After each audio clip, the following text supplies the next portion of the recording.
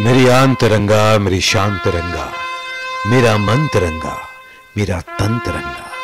खुद पर जिसको सजा कर हो जाऊँ मैं भी तिरंगा।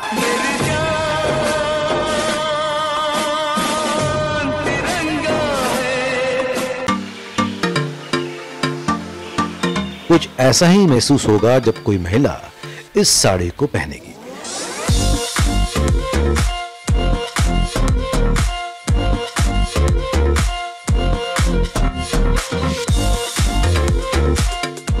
बिहार की राजधानी पटना के खादी मॉल में इस बार ये तिरंगा साड़ी लोगों के आकर्षण का केंद्र बनी हुई है।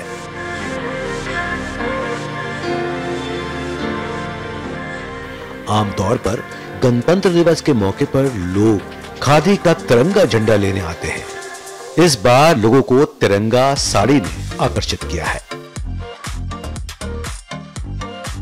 खादी उद्योग की बनी इस साड़ी की खूबसूरती तो देखते बनती है।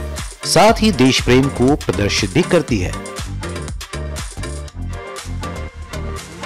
मैं यहाँ आई तो मेरी नज़र गई इस साड़ी पे। It's so unique like you can see the colour मतलब तिरंगे का कलर का साड़ी है। यू लाइक द टीचर्स जो पढ़ा रही है स्कूल में, या government officers they can also wear this मतलब it shows the diversity okay तो I am very happy to see this sari and I am sure I am going to buy this sari. So so, और ये एक like creative idea है जो specially artisans बनाए हैं।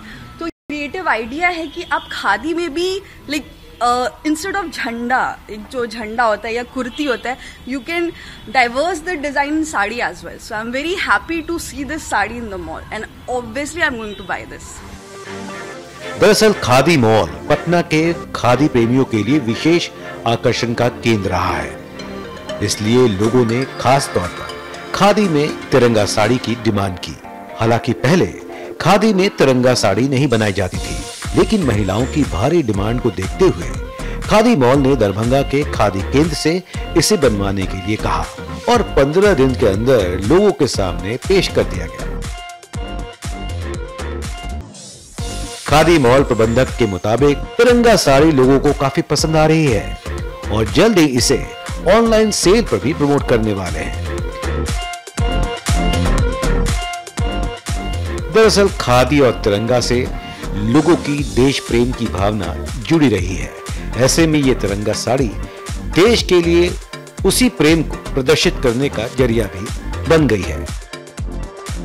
India TV digital के लिए मोहनीश कुमार की रिपोर्ट।